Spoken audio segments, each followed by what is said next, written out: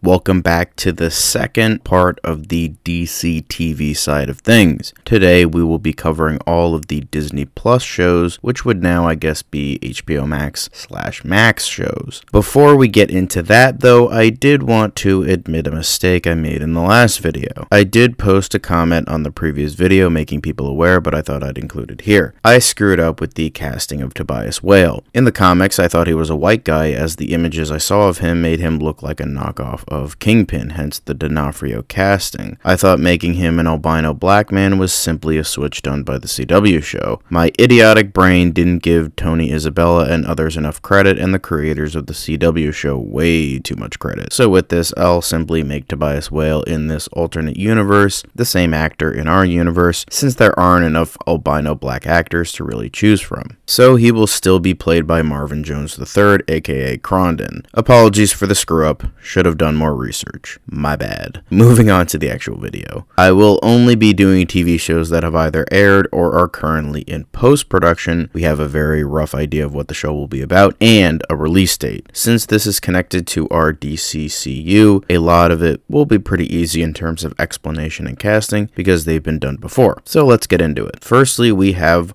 WandaVision, with its counterpart being Zatanna in 2021. First things first, we have Zatanna. Obviously, this wouldn't directly adapt WandaVision because that adapted specific Marvel stories, so it would essentially just be a show about Zatanna. We could borrow some aspects, like maybe she's more so threading the line of good and evil after the death of her father, which has been done before. So I think I would probably go in that direction for this version and simply include any Zatanna supporting characters than a direct adaptation. As you may remember, Elizabeth Gillies played the DCCU version of Zatanna, and so she would reprise her role here. I also have some supporting characters characters that somewhat fall into the cracks of proper counterparts for the characters shown. For the Vision counterpart, I ultimately decided to split the character in two. One would be the character Zatanna is grieving, and one would be the character that would sort of be a love interest and help her along the way. The first would be Zatara, her father, who died before the events of the miniseries, but would appear as a hallucination over the course of the series. He would be played by Tim Roth. And then the other is John Constantine, since they had a thing in the comics off and on, and he would try to help her in his own Constantine Way, played by Aaron Taylor Johnson. Then you sort of have the plucky comic relief character with Darcy, who in this case would be Arnie, Zatanna's manager, played by Evan Peters. Then you have the Jimmy Woo counterpart with Dale Colton, who is a police detective who worked with Zatanna. He would be played by Randall Park. Then for, I guess, the Monica Rambeau counterpart, in terms of someone trying to figure out what's going on with Zatanna and her going down the rabbit hole of darkness, would be The Question, still played by Oscar Isaac. Before we get to the villain, I decided to include some other characters like Jaina Bodhi,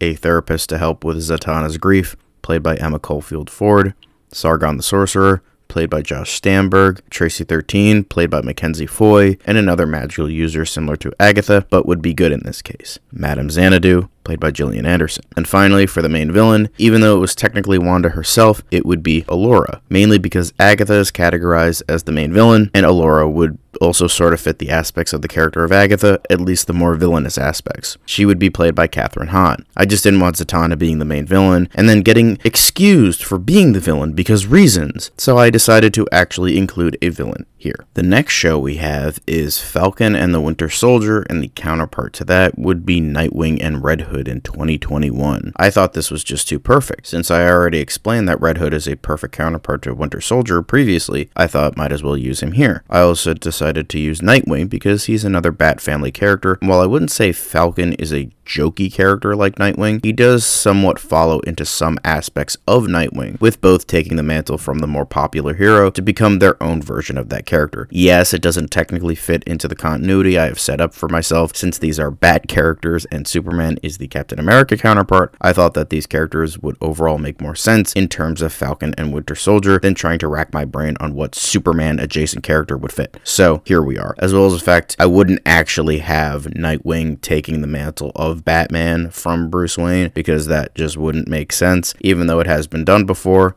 So Just wanted to clear that up. Another case of people already being cast, Nightwing would still be played by Zac Efron, and Red Hood would still be played by Jamie Dornan. Then for the main villain that isn't really an actual villain, I had a bit of a tough time with this one, because Falcon and the Winter Soldier would be connected to Captain America, who in this world would be Superman, as I mentioned. However, I made it so that these are Bat family characters. So who would the villain be? A discount Superman villain trying to be Superman? Then why would Batman characters go after him? Should I just make him another Batman villain? Or should I at least try to make him sort of like US Agent? At least who US Agent is supposed to be if it wasn't so poorly executed. So I decided to look up characters that were similar and ultimately will use the Gunsmith. He's a pretty new character who's only about 4 years old and has since apparently died. But at the time of this series, he would still be alive and sort of works with what the characters were trying to do with John Walker. But failed miserably because they actually made Walker the only decent character throughout the entire show. He's a soldier and an assassin for hire who is overly patriotic. That kinda works with the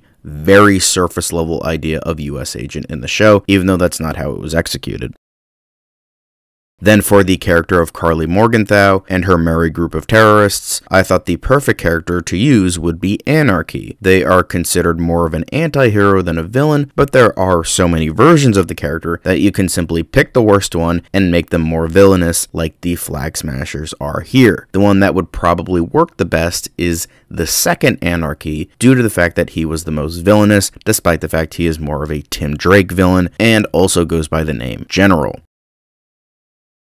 Then for the character of Joaquin Torres, I thought that David Zavimbe would be a good counterpart as he would later become a superhero with wings who idolizes another superhero, Batwing, just like Torres, who would become the second Falcon. He would be played by Clay Bennett. Unfortunately, I could not find a Congolese actor, so I just used an actor from the show. I hope you understand. Then, for a secondary villain who is needed to help the heroes, I decided on Two Face, since much like Zemo, he appeared before and kind of fits into what this version of Zemo would be. A guy who is definitely a villain, but has knowledge that can help them and was at least a good guy at one point. Dougray Scott would return to play Two Face. Then, for a Sharon Carter counterpart, it would obviously have to be Barbara Gordon.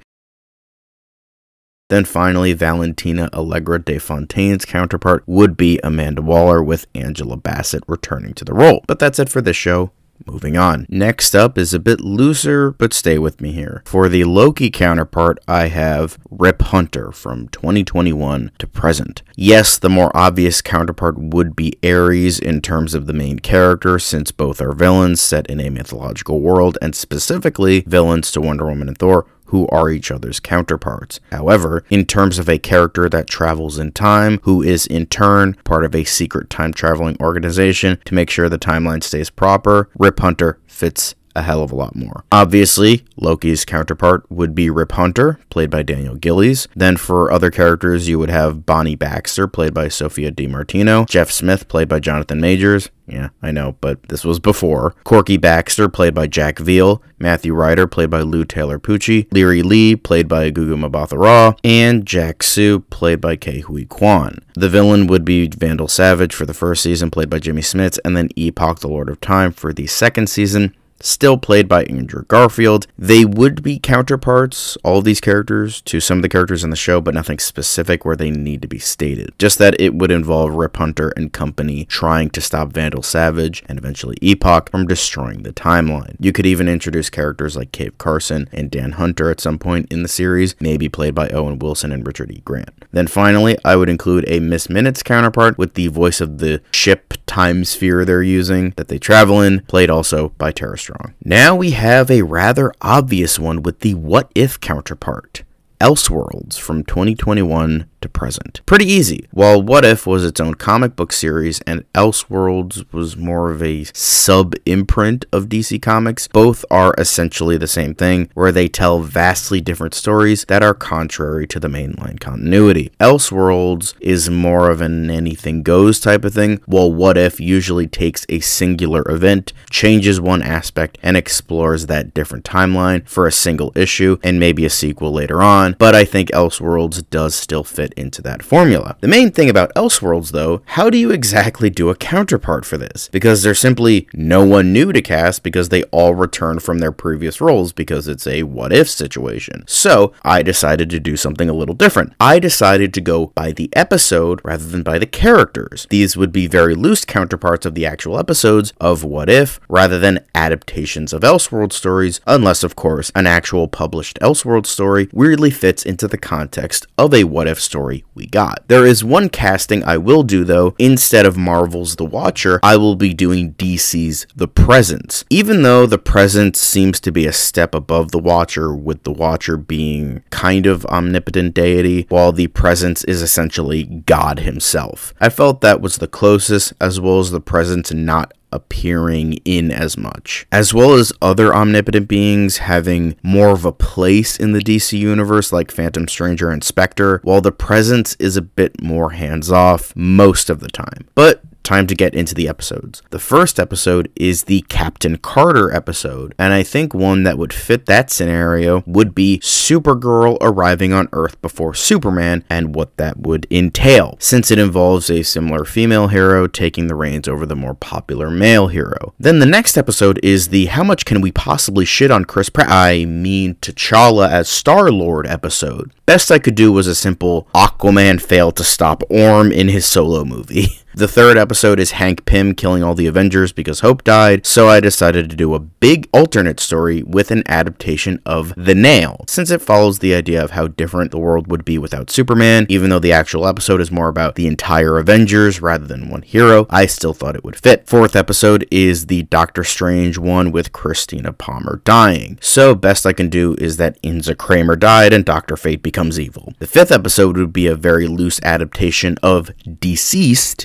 since that is essentially the DC version of Marvel Zombies. The next is Killmonger saving Tony Stark and him not becoming Iron Man. I think here would be a good time to sort of adapt Flashpoint, but only the story involving Thomas Wayne becoming Batman instead of Bruce Wayne, since in this case, Thomas and Martha Wayne were quote unquote saved. It would not adapt the entirety of Flashpoint, just adapt this one small story, with the rest of the world staying the same as opposed to Flashpoint. The next episode is about Thor being an only child, so I decided on Wonder Woman not leaving Themyscira. The next episode is if Ultron won, the closest adaptation would be if Brainiac won in the third Superman movie. Then finally, the last episode for season one would involve the presence intervening and assembling together the heroes we've seen to stop Brainiac from destroying the multiverse. The second season starts with Nebula joining the Nova Corps, so I decided on adapting the 2004 Green Lantern movie we never got, with Judd Plato, played by Jack Black, joining the Green Lantern Corps instead of Hal Jordan. Considering in hindsight, I do think the movie could have been hilarious, and I feel the premise would be better here as a small what if episode than having it be the first ever Green Lantern movie, which would have sucked most definitely. But seeing Jack Black as a Green Lantern is just amazing in every way that I had to include it. The next episode is how much more can we shit on Chris Pratt? I mean, what if Peter Quill joined Ego and attacked Earth? I decided on a rather simple one. What if Krypton never exploded, with Clark living his life on Krypton, sort of adapting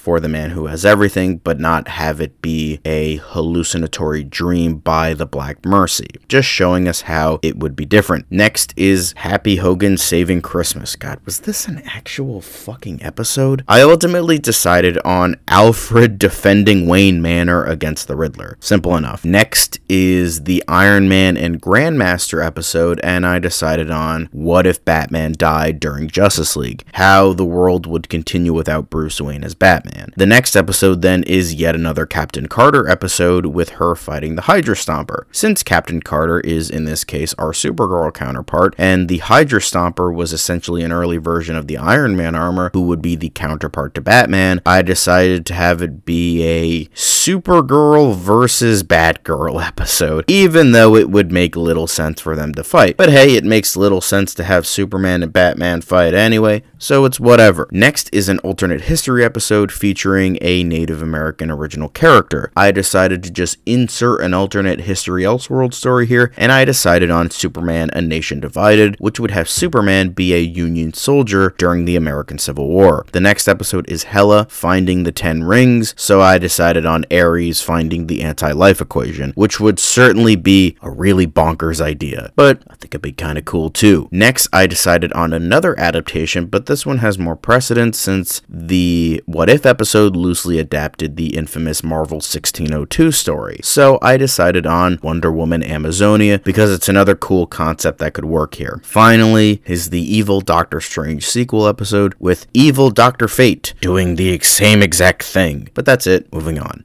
Another fairly obvious and easy one with the Hawkeye counterpart with Green Arrow in 2021. Even more so, adding to the premise of the original version of the character is handing it down to a female counterpart also works here. Since Green Arrow has two different versions you can go with, either Mia Dearden, the second Speedy, or Artemis Crock, which was more so purely done for Young Justice. With that, I'm going with the former, since that fits better anyway in terms of this specific universe and the original counterparts. Connor Hawke also works here because he actually takes the name Green Arrow, unlike Mia, who simply becomes the second Speedy. But the Connor character would probably be too young to get the mantle in this case. I just wanted to mention him because I know people in the comments would as well. Back to people I already cast. Green Arrow would still be played by Paul Wesley, and Black Canary would still be played by Katheryn Winnick. Then then for Mia Dearden, she would be played by Josephine Langford. Then for the swordsman counterpart, I have Katana, played by Shioli Kutsuna. The Kazi counterpart, Brick, played by Martin Ford. The Yelena Belova counterpart would be Merlyn, played by Tony Dalton. And then the Echo counterpart, I decided on Cassandra Cain. She has some similarities to Echo. She has been on both sides of the law, has what is